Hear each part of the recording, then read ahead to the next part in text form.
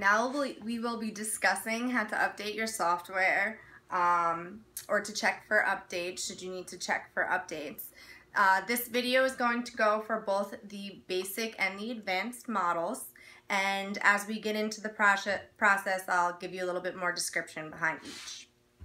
So once you power up the unit you want to go over to the options page and you want to, and as of right now, you can see here's where the software is listed. We're at 1.2080. And we're going to scroll down a little bit. Depending upon what, if you have internet access or not, is going to depend upon what button you press here.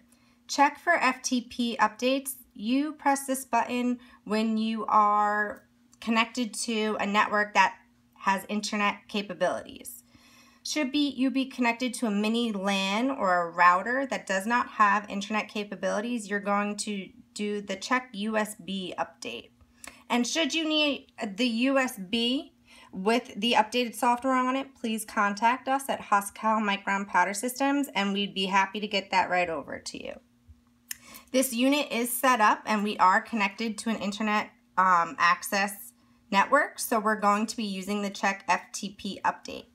Should you be in the advanced mode, or I'm sorry, excuse me, the basic mode, most likely you're going to be connected to a mini LAN connection or a router, so you would be using the check USB update.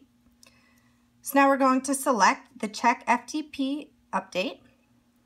As you can see, it's checking and it shows the version that you have now and the updated version. So we do need to update the software.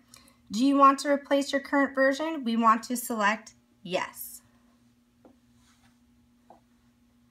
And of course, you let it download and let it go through the procedures and follow the on-screen instructions.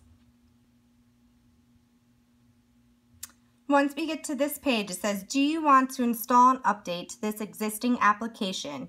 Your existing data will not be lost. The updated application will get access to, you want to select new. This update requires no new permissions and we're going to select install. Once the application is installed, we can open it. Okay.